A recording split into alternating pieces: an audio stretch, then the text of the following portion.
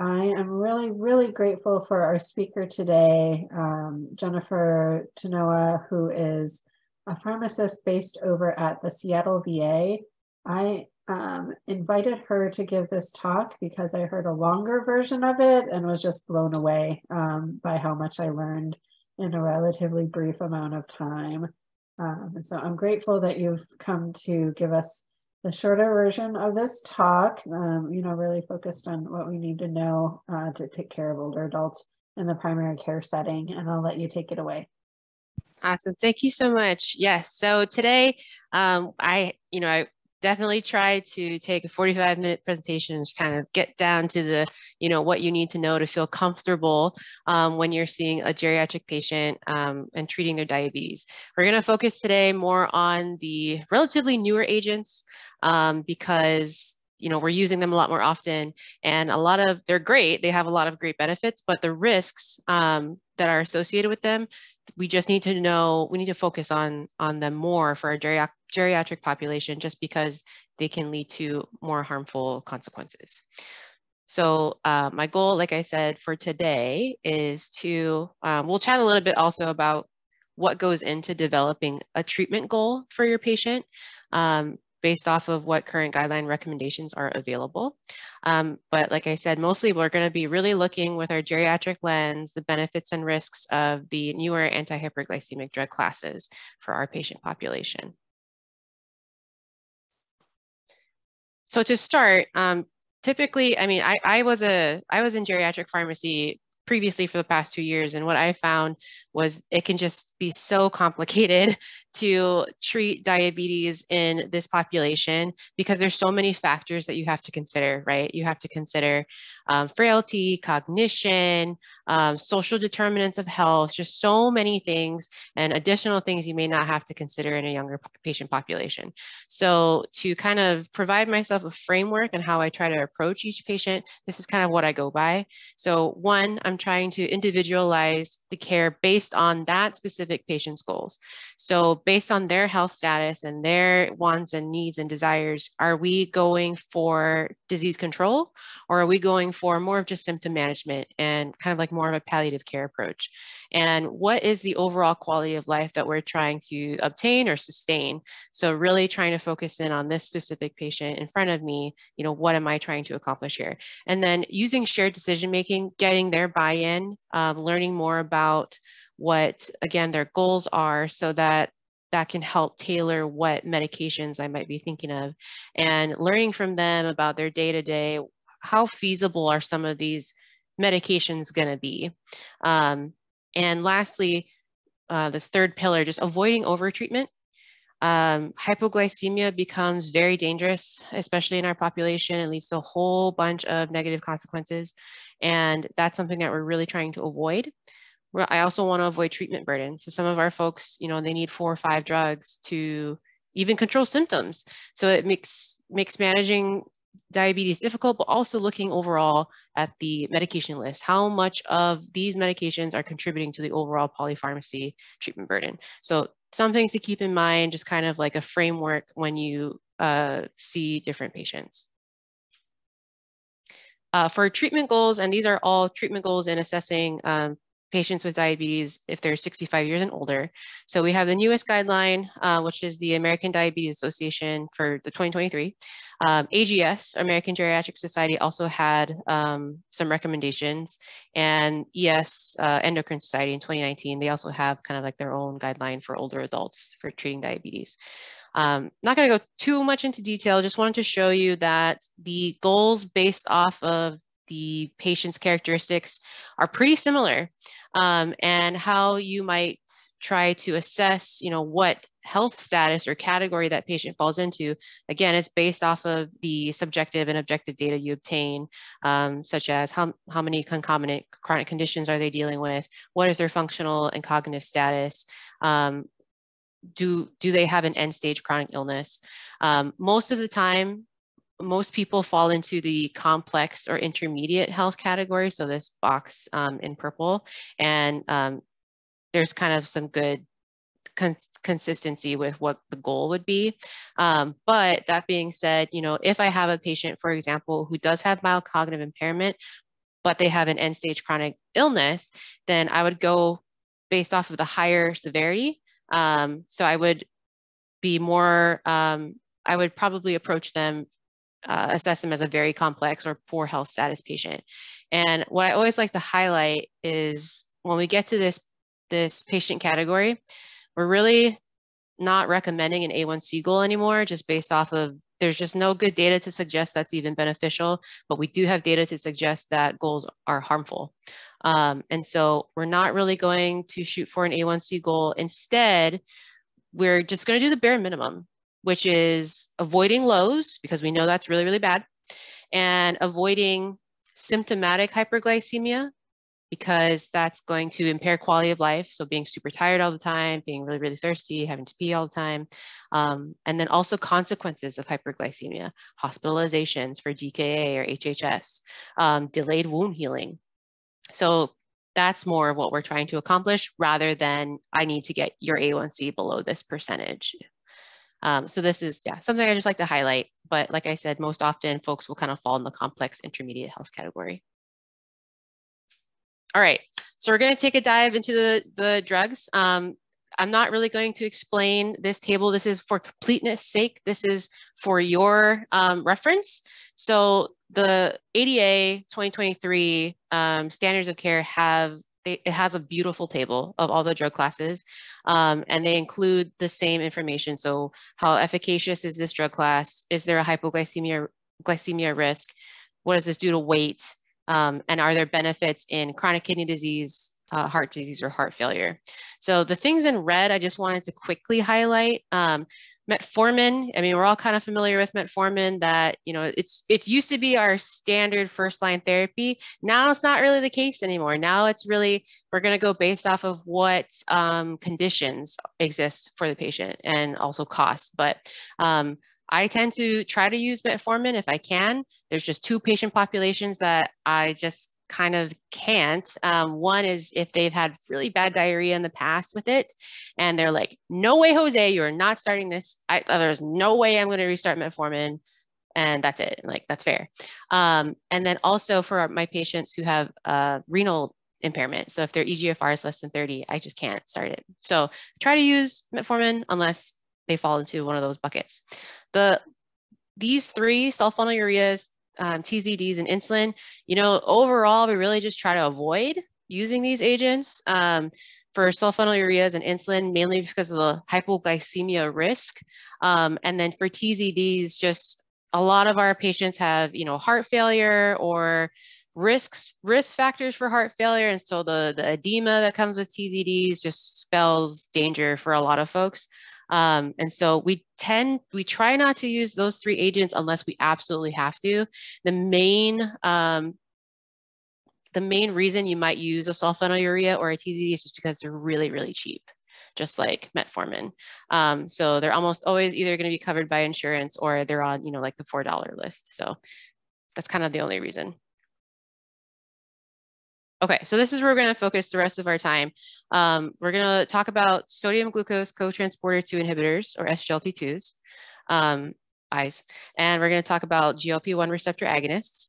Um, we're not going to spend too much time on the dual glucose-dependent insulinotropic polypeptide and GLP-1 receptor agonists, or tirzepatide, Mounjaro, just because there's there's still it's, it's super new, um, and there's still data in uh, pending for the extra benefits. Um, and so yeah, we're going to focus more on GLP-1 receptor agonists, and then we'll just kind of touch a little bit about DPP-4 inhibitors, um, where you know focusing on role in therapy and such. So we'll take a deep deeper dive into these three uh, classes in purple. All right, so SGLT2 inhibitors. Um, that's your empagliflozin, dapagliflozin, canagliflozin. These drugs um, work in your proximal tubule to um, inhibit glucose reuptake. So that lowers the threshold for, um, for glucose reabsorption or excretion, excuse me. And so you're just the you're just peeing out more sugar. That's what I tell my patients. This drug is going to make you pee out sugar. Um, and the benefits include, you know, we don't have to really worry about hypoglycemia risk if it, monotherapy. Um, it does promote some weight loss because you're peeing sugar, which means you're peeing out some calories. So depending on, you know, your caloric intake, um, that could produce some modest weight loss. Um, a couple of them have shown benefit for folks with cardiovascular disease, disease or uh, at risk for CVD. And um, also reduces the risk of chronic kidney disease progression.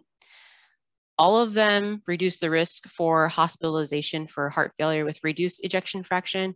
And then empagliflozin or Jardiance is the brand name. This has been, you know, kind of like, this was like a blockbuster study that showed that empagliflozin reduces the risk of hospitalization for HFpEF or preserved ejection fraction. So we're actually even now trying to promote this information because some people may not be aware that empagliflozin can do all of these things, um, even in HFpEF. And, and in that study, folks didn't even have diabetes. So we're starting to see SGLT2 inhibitors prescribed uh, a lot. So they're great medications, um, but there are risks obviously associated with them. And I wanted to highlight this because I really, really think hard about these risks when I'm assessing a patient. So I said they make you pee sugar, right? Um, that can increase urinary frequency, which a lot of our patients already have baseline urinary frequency or they're incontinent. Um, it can also lead to hypotension or dehydration that has been shown SGLT2 inhibitors as a whole, they, there is a higher incidence of volume depletion in our older adults. So one of the clinical pearls is to try to assess volume status and correct for any hypovolemia if it exists um, at baseline. So that's going to be probably more pertinent for your folks with heart failure. Um, and if they're on a diuretic, especially like a loop, and maybe they're euvolemic or maybe a little bit more on the drier side can consider reducing the dose of the diuretic to kind of make room for the SGLT2 inhibitor. Um, so I would say this, yeah, this is always on the forefront. Do they already have to pee a lot? Are they dizzy already? Um, and do they just, are they just not great at drinking enough water? Or are they just really diuresed? Um, genital urinary infections, you know, the way I explain this is we all have like bacteria that live on our skin, especially in our genital area, um, and sugar is the fuel uh, for bacteria. And so the bad bacteria just outgrows the good ones, and then we get an infection. So um, we do recommend to promote, you know, counsel for good hygiene, um, but you know, we have to really think about, okay, some of my patients are wearing Depends all day. Um, some of my patients have a history of recurrent infections and even like, uh, what's it called? Like very resistant infections. And so in those patients who already have an established history, I would just avoid this altogether because um, I actually have had people develop urosepsis because of um, this class. So, you know, if they, like I said, have a history of recurrent infections, and that goes for UTIs or yeast um, infections, really weigh that risk against the benefits in that patient. Um, and then if a patient does develop an infection, the the standard practice is to stop it or hold it, um, treat the infection, and then come back and really consider the risks. You know, is it worth restarting this medication, potentially getting another infection based off the benefits that you may derive? Um, and real clinical practice, I would say nine out of 10 times my patient is like, nope, we're not doing that again. And I'm like, fair. So um, again, it's going to be patient specific. Some of them are like, you know what, this is going to keep me out of the hospital. So yeah, I'd rather, I'd rather take it. It really just depends, have that open conversation. Um, and then diabetic ketoacidosis or euglycemic DKA, if you have a patient who's a huge fan of keto which if they have diabetes like already already know but if they are a huge fan of keto um, they're already trying to get a state into a state of ketosis, which is just going to make this worse. So the idea is that you know this is making you lose your uh, glucose reserve, and so your body is shifting from using sugar as an energy source to fat. That lipolysis as a byproduct promotes ketones into the blood.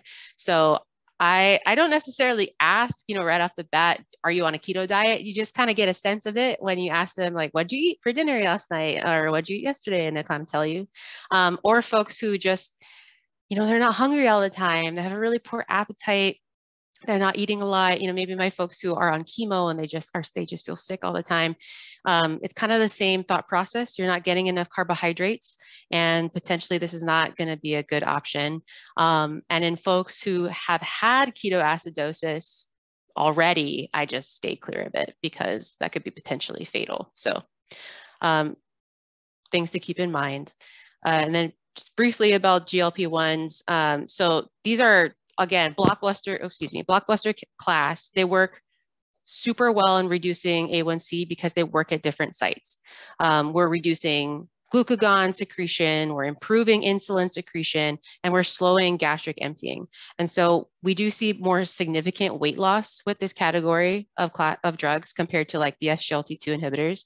We see the same benefit for cardiovascular disease. Um, some of them also have benefits for CKD more from a, albuminuria standpoint, but that benefit still exists.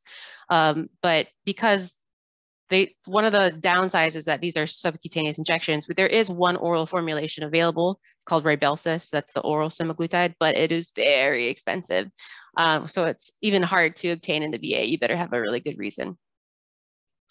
So lots of great benefits, right? But again, what are the risks that I, I worry about in my patient population? So the GI side effects, nausea, vomiting, and kind of like a 50 50 diarrhea or constipation.